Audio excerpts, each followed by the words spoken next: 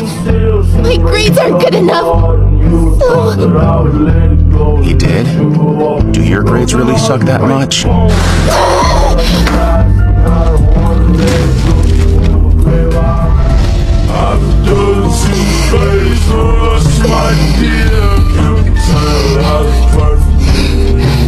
You know, sis, you've hurled enough textbooks and notes in my face for me to have a good idea of how study. Let me tell you. The pages are barely hanging onto their binding because of the countless times they've been turned. And there are so many highlights you could put the nightly muse to shame.